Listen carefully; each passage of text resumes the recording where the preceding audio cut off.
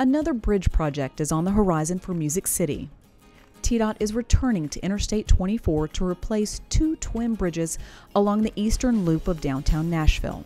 Originally built in 1961, the aging structures at Spring Street and Oldham Street have deteriorated beyond repair and need to be replaced. A new $28.5 million project will replace the bridges along I 24 using the innovative process of accelerated bridge construction, or ABC. This is the same method used in 2015 when eight bridges on I 40 were replaced in record time for Fast Fix 8. And in 2012, when the Main and Woodland Street bridges were quickly replaced along the same stretch of I 24. At that time, TDOT made it clear more work would be needed, and the time for that work is now. Just like the other ABC projects, this work will require the interstate to be completely shut down for four weekends to allow crews to utilize all lanes of travel and to work around the clock. During the scheduled closures, Interstate 24 will be closed from the I 24 I 65 split north of downtown to the I 24 I 40 split south of downtown, basically the eastern loop of downtown Nashville. On Friday night, crews will secure the work zone. Then the superstructure of the existing bridges will be demolished and hauled away. Cranes will be moved into position to set the new structures into place. Concrete will then be poured and cured quickly. On Sunday, crews will install temporary barriers, paint lines, and open all lanes of travel in time for Monday morning rush hour. As seen in this Fast Fix 8 time lapse video, crews will work non stop during the interstate closures.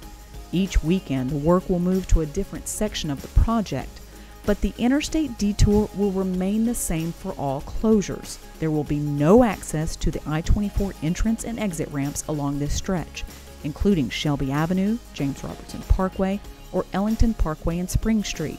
Detour routes will be provided online and by way of overhead and portable message boards. This project will complete the necessary bridge replacements at Spring Street and Oldham Street, but it will also allow crews to make repairs to the Silliman Evans Bridge over the Cumberland River and pavement repairs along the entire two mile stretch of the loop. Not all work will be done on the closure weekends. Various parts of the project will be done at night and during off peak travel times and may require temporary lane closures. To ease the entire process, TDOT will provide ongoing communication throughout the life of the project with emergency services, hospitals, universities, businesses and entertainment venues, as well as the community. Just as with other successful TDOT bridge replacement projects, closures will not be scheduled during large scale events like CMA Festival, the 4th of July, and the Tomato Arts Festival. By using accelerated bridge construction and making repairs along the entire two mile stretch of I 24 along the eastern loop of downtown Nashville, TDOT will deliver results quickly, finishing multiple projects in months instead of years. To learn more about detour routes, sign up for email updates, or to send questions, please visit the project's website.